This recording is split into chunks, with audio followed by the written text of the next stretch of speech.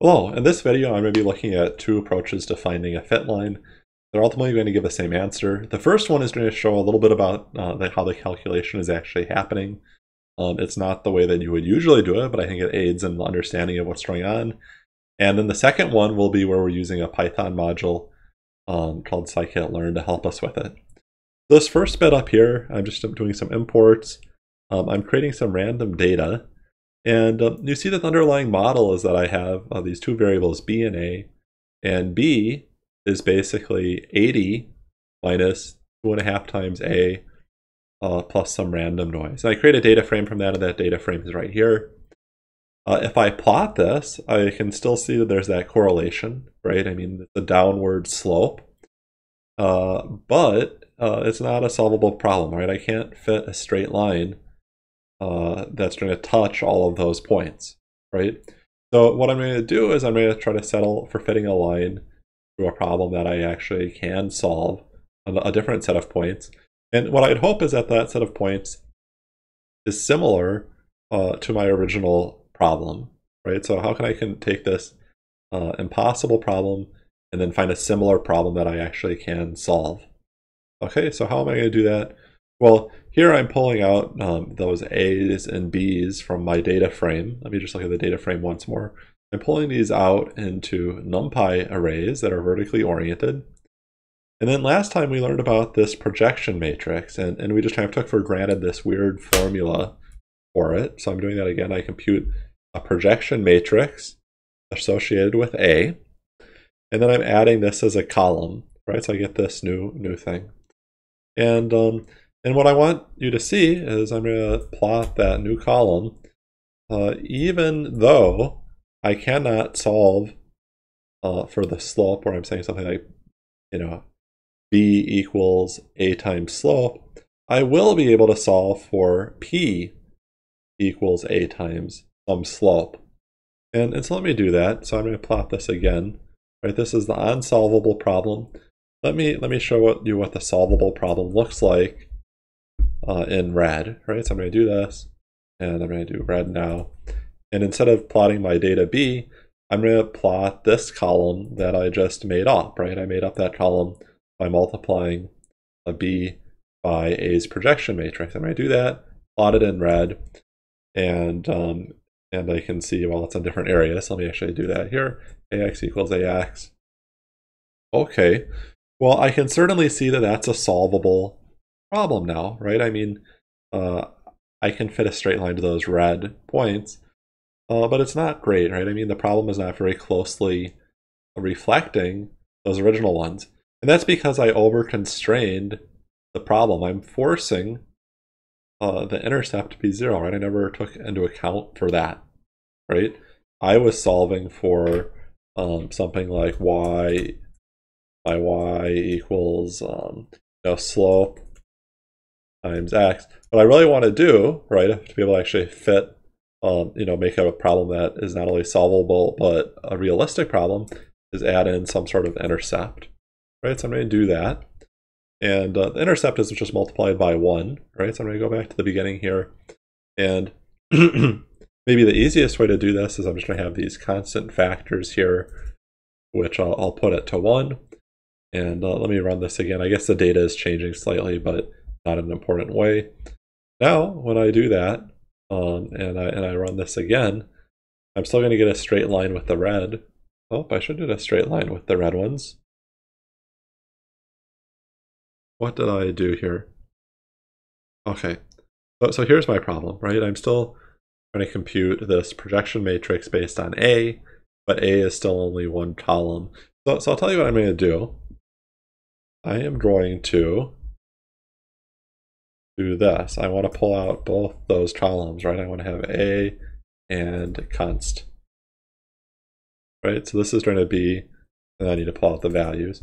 Let me let me just show you what happened there. Right, when I look at A, I see that now A is both of these columns, right? So there's the 21, uh, there's the 1 right there. Um, that's good, right? So now when I'm uh, doing my projection matrix, right, it's taking both those into account then when I run this, now I get um, a solvable problem. So red was solvable before, but what is good about this solvable problem with these red points is that it's actually more similar to to um, the original problem, right? So it's kind of meaningful to solve it. Now there's different ways I could solve it. Um, I could uh, do some algebra if I wanted to and uh, kind of fit it two lines there. Um, that, that, kind of works well when I just have kind of this one dimension to the data. Um, in general, what I'm going to do um, is uh, that, or that you could do, and I'll do it here, um, is that we're going to use our projection matrix again, right? So remember what we're trying to solve. We want to solve for ax equals p. um, why p? Well, e was what we got when we multiplied the projection matrix by b, right? I really wish I could solve ax equals b, but that's not solvable. So I'm going to settle for solving ax equals p um, which is also just AX equals PB. And this was the formula for my projection matrix, uh, this part right here. Oh, let me, right, this is my formula for my projection matrix. So I could write that out. I could expand P and I could say, I could say AX equals, and then P is this, equals P times B. Right, so I could do that. And ultimately that reduces to this thing down here, and um, it turns out that this is an easier problem to solve for. Um, let, us take a look why this is easier to solve. So before I had A, which was this shape, uh, 30 times 20, what if I get um, AT times A? So maybe I'll just try to make a new variable that's going to be A transpose dot A. And uh, let me look at the shape of this one. That's only going to be a 2 by 2, and maybe I'll just print it off, right? And, and so what we ultimately want to do is we want to solve for x, where this is known. I can compute that, right? I just did compute that. And, uh, and where this is known, right? I can compute that. I know b and I know a, right? So the advantage, right, is that when I'm solving some matrix times a equals some vector, uh, numpy, numpy.linearalgebra.solve Right, I have the matrix that multiplies A, and then I get the vector. That, I'm sorry, this is a matrix that multiplies X, and then I get that vector. Um, linear algebra.solve wants this to be square, right? A was not square, but it turns out that A transpose times A will always be square, right? So let me do that. And so I'm also going to get this right-hand side, right? So um, A transpose times B is A dot transpose dot product B, and we'll take a look at that. Um, so I can put these down here now. So I'm trying to solve for x, right? And I know what multiplies it on the left, which is A transpose A. And I know what I have on the right, which is A transpose B. And I can solve that. And, uh, and well, what are these numbers that I'm getting here? This first number, well, let, let me do it like this. Um, let me reshape this a little bit. Let me reshape it so I just have one dimension.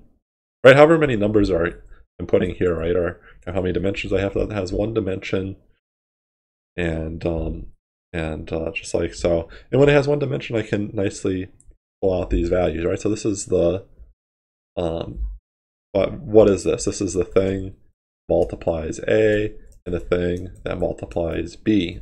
I'm sorry, multiplies 1, right? Because this A matrix. Let me go all the way back to the top. Where did I get this? I had something times A and something times my constant, which was 1. Um, another way of putting that is that, well, that's my slope and my intercept. And let me look at that slope and intercept. okay, there, there I go.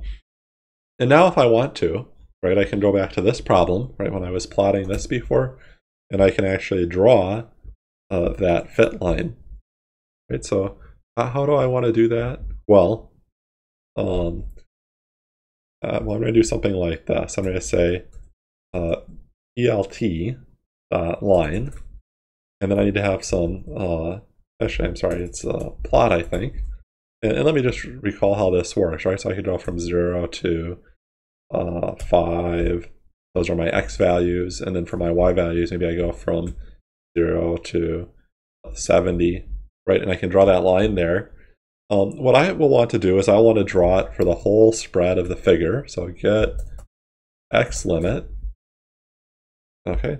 And then I need to figure out these pieces, right? So here's what I'm going to do. I'm going to say y0 equals what? My x value, right? So my first x value is there times the slope plus the intercept. And then I'm going to get that for my other y value too, right? My value for the right-hand side is also that x value times intercept. And so I'm going to put those here now. I'm going to say y0 and y1. And cool, right? So there's multiple steps here, right? I first, um, you know, I first replaced the black dots with the red blot dots that I could actually solve for, and then I found a line that that goes through them. Okay, and and, and I had to kind of very carefully set that up, right? Adding that ones column. Um, so this is very common that you need to do these things. So uh, there are modules for it that can kind of do a lot of this work for you, right? So I won't generally solve it this way. I just wanted you to see it once, maybe to understand more what these modules are doing. Okay, so let's do the same thing. And I'm just going to look back at this uh, data frame. Um, let's do the same thing using a module that is in this package called scikit learn, right? So that's scikit learn. And um, actually from there, I'm going to import from linear from linear model in there. I'm going to import a linear regression type. Right, so I'm going to import that thing. And with this thing, um, I can create new linear regression objects, right? So R, let's just take a peek at R. R is a linear regression object. And printing it out, I can see some things like uh, the options that it's using by default, right? So that's kind of useful I want to reproduce these things. Um, now, this column here now is actually optional, right? Uh, this linear regression uh, object, when it's doing the work, can decide whether or not to add that. And that's going to be based on this option here, whether or not we want to fit the intercept.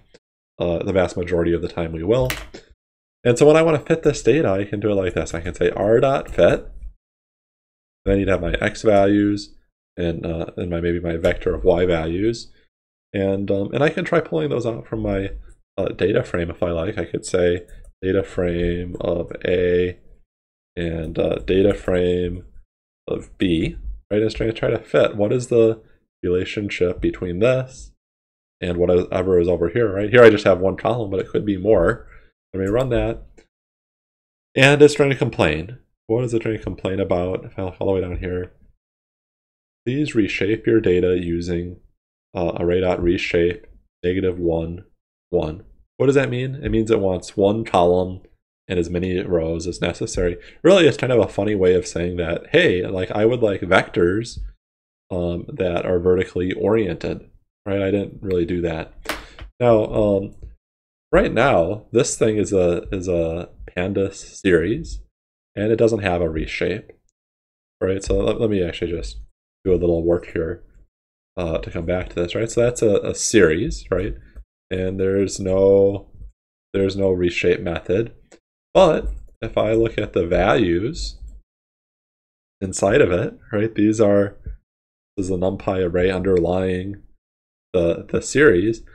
I can absolutely reshape that how they're asking me to is this vertical piece, right? So this is what I'm going to need, right? And I want to shape this piece to, I'm just going to fix it up that way. That's maybe the easiest thing.